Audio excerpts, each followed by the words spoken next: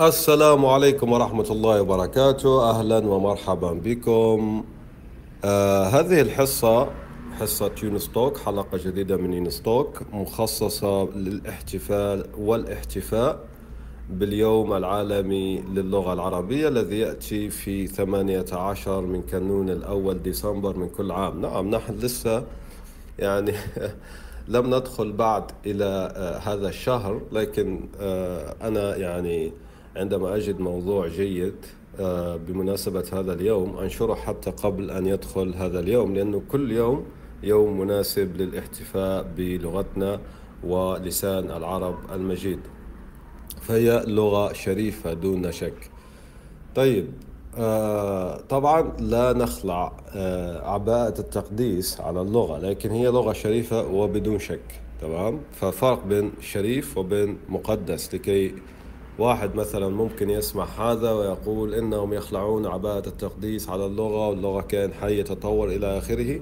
هذا كله نعرفه لكن لا نقول مقدسة لكن نقول شريفة تمام؟ طيب وفي فارق بين هذا هذين الوصفين. آه، أنا كتبت بالفعل بدأت منذ عام 2021 بكتابة قطعة محتوى مقالات بمناسبة هذا اليوم. فإذا نحن في اليوم الرابع. فطبعا ستجدون كل الروابط للمقالات السابقة للاحتفاء باليوم العالمي للغة العربية في روابط آه، وصف هذا هذه الحلقة.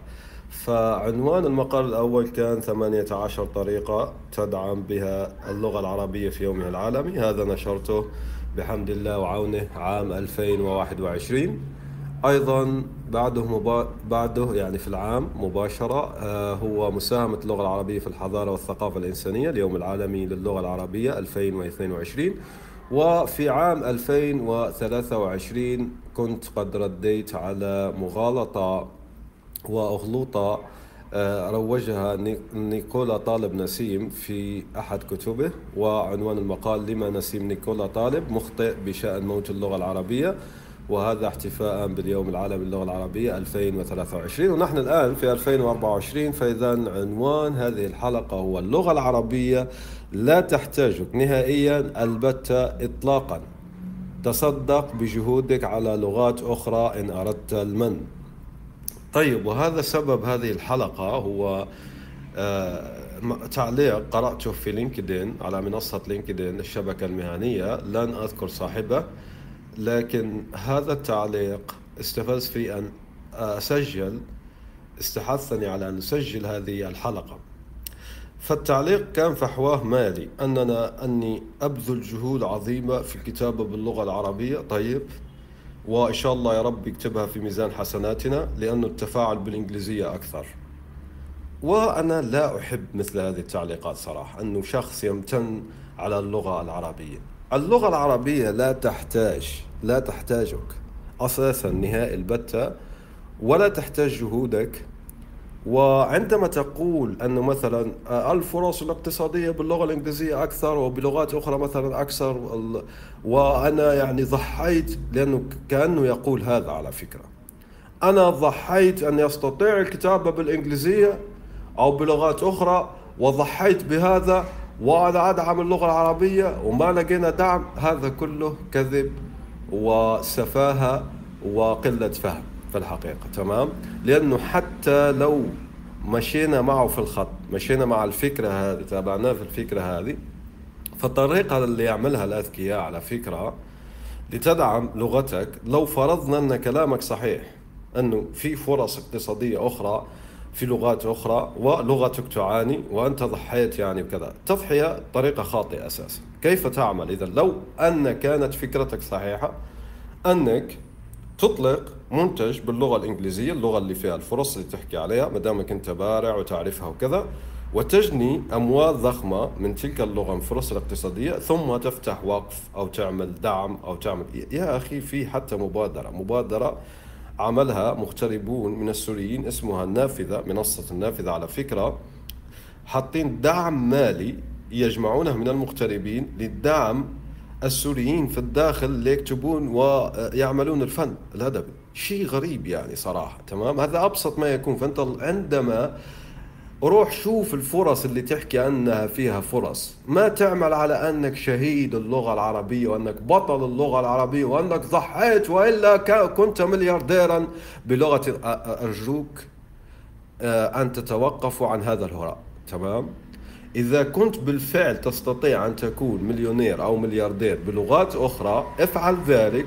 ثم بالأرباح افتح وقف افتح مبادرة افتح جائزة. آه، اعمل مواقع تمام؟ هذه الطريقة صحيحة. لو أصلا نحن صدقناك في في, هذا الهراء الذي أنت تقوله لأنه الحقيقة أن اللغة العربية فيها فرص لأن عدد الناطقين بها نعم في الإنترنت أقل وهذا يعني أنها سوق بكر أن كل الفرص متاحة.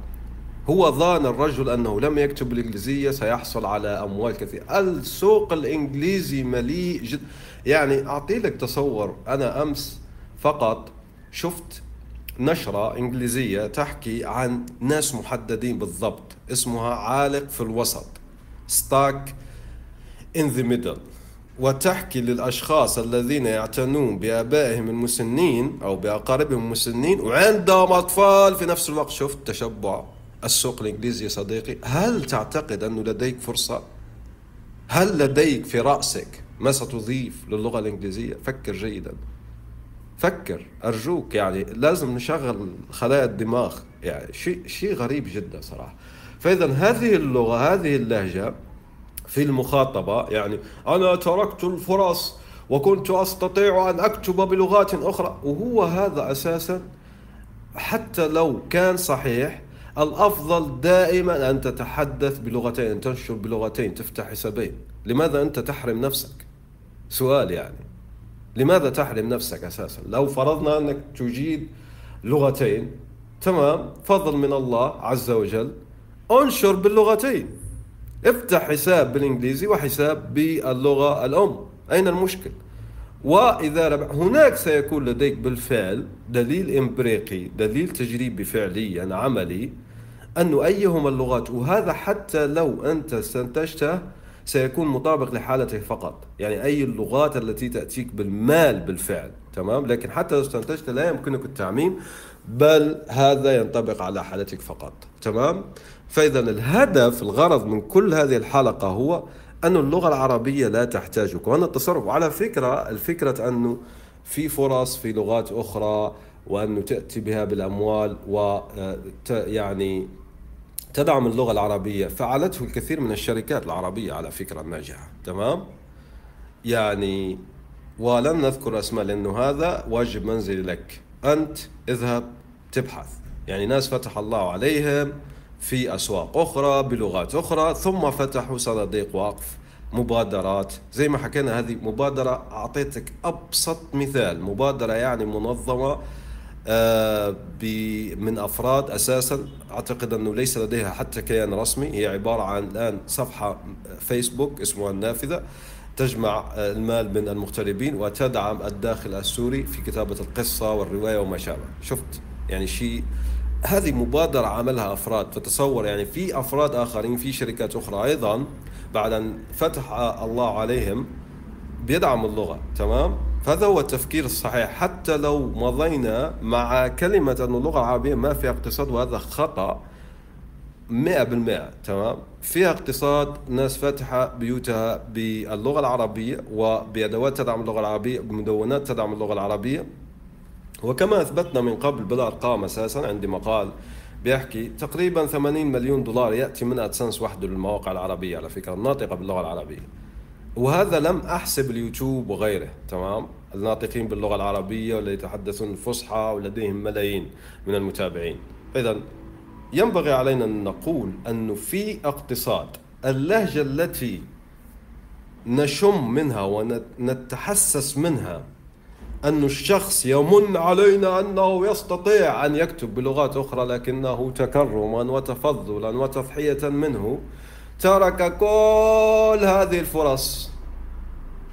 وحضرت سعادته يعني حضرته سعادته بيتصدق على اللغة العربية وإلا فإن لديه فرص أخرى في أرجوك احتفظ بصداقاتك لنفسك. اللغة العربية لا تحتاجك. تمام؟ أتمنى أن الرسالة وصلت. كلنا نطيل. هذا مو موضوعنا كليا. بارك الله فيكم وصلى الله وسلم على سيدنا محمد وآله وصحبه أجمعين. سلام.